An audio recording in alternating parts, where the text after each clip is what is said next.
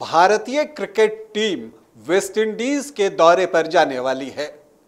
12 जुलाई से पहला test match खेला जाएगा और ये जो दौरा होगा भारतीय टीम का कैरेबियाई दौरा, वो 13 अगस्त को संपन्न होगा और इस दौरान भारतीय टीम वेस्टइंडीज में दो टेस्ट मैच खेलेगी, तीन one day international cricket matches की सीरीज़ खेलेगी और इसके अलावा पाँच टी ट्वेंटी इंटरनेशनल भी होंगे। तो इसके लिए भारतीय टीम का चयन अभी तक नहीं हुआ है, लेकिन किन किन खिलाड़ियों को भारतीय टीम में शामिल किया जा सकता है और किन खिलाड़ियों की छुट्टी हो सकती है, इस पर जो है कयास लगाए जा रहे हैं। तो आज हम टेस्ट मैचेस में, चूँकि वर्ल्ड टेस्ट चैंपियनशिप का फाइनल भारत अभी रिसेंटली हारा है तो चूँकि वो दर्द जो है ज़्यादा हरा है तो आज हम बात करेंगे कि टेस्ट मैचेस में क्या परिवर्तन हो सकते हैं वेस्टइंडीज दौरे पर और किन नए खिलाड़ियों को अवसर दिया जा सकता है? नमस्कार, आप देख रहे हैं न्यूज़ बाइस्कोप और मैं हूँ राकेश रंजन। भारतीय क्रिकेट टीम दो टेस्ट मैचों की सीरीज़ खेलने के लिए वेस्टइंडीज जाने वाली है। 12 जुलाई से पहला क्रिकेट टेस्ट मैच खेला जाएगा और अब जो इन सब के बीच सबसे बड़ा सवाल उभर कर सामने आ रहा है, वो ये आ रहा है कि डब्ल्यू फाइनल में हार के बाद क्या भारतीय टीम में कुछ परिवर्तन किए जाएँगे? तो अगर हम बात करें तो अगर जो सबसे बड़ा परिवर्तन हमें देखने को मिल सकता है, वो चेतेश्वर पुजारा के रूप में देखने को मिल सकता है। भारत के लिए 100 से ज़्यादा टेस्ट मैच खेलने वाले चेतेश्वर पुजारा का रिसेंट ईयर्स में परफॉर्मेंस उनके स्तर के अनुसार नहीं रहा है बल्कि आप ये कह सकते हैं कि उनका प्रदर्शन निराशाजनक ही रहा है। और जब पिछले तीन सालों से उन्हें अवसर दिए जा रहे हैं कभी कभी बीच बीच में कुछ एक इनिंग्स आते हैं उनकी ओर से, लेकिन वो ऐसे नहीं हैं। और अब ये वक्त आ गया है कि आप किसी नए खिलाड़ी की तरफ़ देखें। तो सवाल उठता है कि चेतेश्वर पुजारा की जगह पर कौन?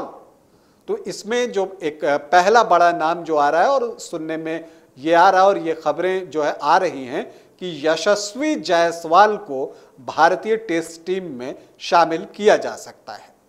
यशस्वी जायसवाल ने आईपीएल में तो अच्छा परफॉर्मेंस किया ही, जो रणजी ट्रॉफी उन्होंने खेले और जो डोमेस्टिक क्रिकेट में उन, उनका जो डेज़ मैचों में परफॉर्मेंस रहा है, वो बेहतरीन रहा है और इस वजह से ऐसा लगता है कि उन्हें वेस्ट इंडीज में भारतीय टीम में शामिल किया जा सकता है और वो चेतेश्वर पुजारा की जगह ले सकते हैं। इसके अलावा सूर्य कुमार यादव भी चेतेश्वर पुजारा की जगह लेने को बेताब हैं और उनकी भी कोशिश होगी कि वो जो है रेड बॉल क्रिकेट में अपनी एक पहचान बनाए। और चूँकि मौजूदा दौर का जो क्रिकेट है, उसमें एक ऐसे बैटर की ज़रूरत होती है, जो कि सडनली कुछ थोड़ी ही देर में मैच का नक्शा बदल दे, जैसा कि ट्रेवस हेड ने डब्ल्यूटीसी के फाइनल में किया था। तो यहाँ पर चितेश्वर पुजारा की विदाई जो है, वो ज़्यादातर विशेषज्ञ मानते हैं कि शायद हो जानी चाहिए, लेकिन हमें इंतज़ार करना होगा, देखते हैं आगे क्या होता है। इसके अलावा जो खबरें आ रही हैं, वो ये भी आ रही हैं कि चूँकि मोहम्मद शमी, सिराज, रोहित शर्मा और विराट कोहली लगातार क्रिकेट खेल रहे हैं। टेस्ट मैचों की सीरीज़ ऑस्ट्रेलिया के खिलाफ खत्म हुई, उसके बाद आपको व्हाइट बॉल क्रिकेट उन्होंने खेली, फिर आईपीएल आ गया, उसके बाद डब्ल्यूटीसी का फाइनल आ गया। तो हो सकता है कि इनमें से कुछ खिलाड़ी वेस्ट इंडीज दौरे के लिए रेस्ट मांगे या सेलेक्टर्स उन्हें रेस्ट दे दें। दोनों ही बातें हो सकती हैं। तो अगर जैसा देखकर मुझे लग रहा है कि जो दोनों तेज गेंदबाज हैं, मोहम्मद शमी और सिराज, चूँकि ये तेज गेंदबाज हैं, ज़्यादा अपने आप को झोंकना पड़ता है इन्हें। तो ऐसी स्थिति में जो बीसीसीआई है और टीम मैनेजमेंट है, वो चाहेगा कि सिराज और शमी को बचा कर चला जाए ताकि वो वनडे के विश्व कप में भी खेलते हुए नज़र आए और साथ ही साथ एशिया कप में भी खेलते हुए दिखें। तो ऐसी स्थिति में हो सकता है कि इन दोनों को वेस्टइंडीज दौरे से विश्राम दे दिया जाए, जिसकी कि मुझे पूरी संभावनाएँ दिख रही है।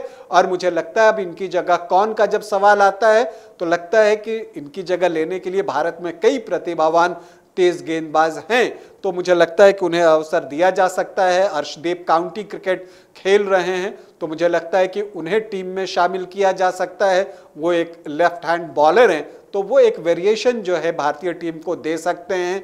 जयदेव उनाटकट की जो है उम्र है, वो सीनियर खिलाड़ी हैं तो मुझे लगता है कि अर्शदीप को टीम में शामिल किया जा सकता है। इसके अलावा उमरान मलिक को भारतीय टीम में शामिल किया जा सकता है। तो क्या वो टेस्ट मैच में शामिल किए जाएँगे? ये देखना दिलचस्प होगा, क्योंकि मैं उमरान को टेस्ट मैचों में खेलते हुए देखना पसंद करूँगा। जो उनकी गति है, जहाँ उन्हें जो है, स्पेल मिलेंगे छोटे छोटे स्पेल में, वो तीन चार स्पेल में आकर बॉलिंग कर पाएँगे। अब वनडे इंटरनेशनल में क्या होता है कि अगर आप सेटल डाउन नहीं हुए तो फिर वापसी की संभावना नहीं होती। लेकिन टेस्ट मैचेस में गेंदबाजों को यह अवसर मिलता है कि अगर अच्छी शुरुआत न भी हो तो आप वापसी कर सकते हैं। तो उमरान मलिक एक नाम है। इसके अलावा तमाम तेज गेंदबाज तो हैं ही।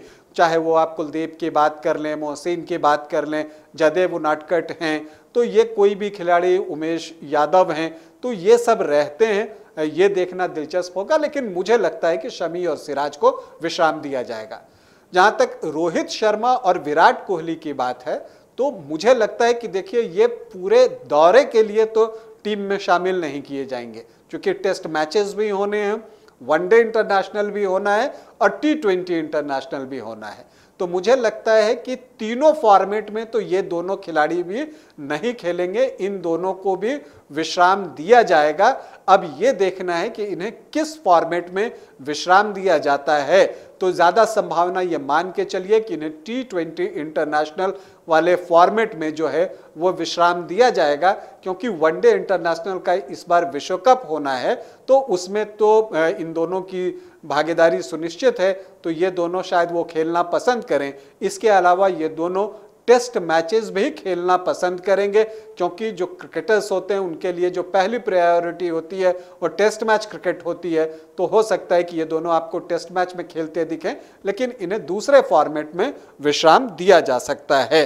तो ये स्थिति है। एक और जो बात है कि के भारत का क्या होगा? चूँकि के भारत ने जो डब्ल्यूटीसी का फाइनल हुआ, उसमें विकेट के पीछे तो अपने काम के साथ न्याय किया है। उनकी विकेट कीपिंग अच्छी रही है। लेकिन जहाँ तक विकेट के आगे उनके प्रदर्शन की बात करें मतलब कि उनकी बैटिंग की बात करें तो वो निराशाजनक रहा है और ख़ास करके दूसरी पारी में जिस तरह से वो आउट हुए, वो निश्चित तौर पर बहुत निराशाजनक था। तो ऐसी स्थिति में ये बात भी उठने लगी थी कि क्या के एस भारत को भी टेस्ट टीम से बाहर किया जाएगा। लेकिन जिस तरह से ईशान किशन ने दिलीप ट्रॉफी खेलने से इनकार किया है ईस्ट जोन के लिए। उससे लगता है कि ईशान किशन को बता दिया गया है कि आप व्हाइट बॉल क्रिकेट पर फोकस करें। मतलब वनडे इंटरनेशनल और टी ट्वेंटी इंटरनेशनल पर ही फोकस करें। तो ऐसी स्थिति में आप मान कर चलिए कि के एस भारत ही वेस्ट इंडीज में भी टेस्ट मैचों में भारतीय टीम के लिए विकेट कीपिंग करते हुए नज़र आएँगे। वैसे जो कौन कौन से खिलाड़ी शामिल किए जाएँगे, इस बात की सही जानकारी तो तभी होगी जब बीसीसीआई की ओर से टीम का अनाउंसमेंट होगा। लेकिन ये कुछ अटकलें हैं, कुछ कयास हैं जो लगाए जा रहे हैं, वो मैंने आपके साथ शेयर किए। अभी आपसे अनुमति चाहूँगा। इजाज़त दें। नमस्कार।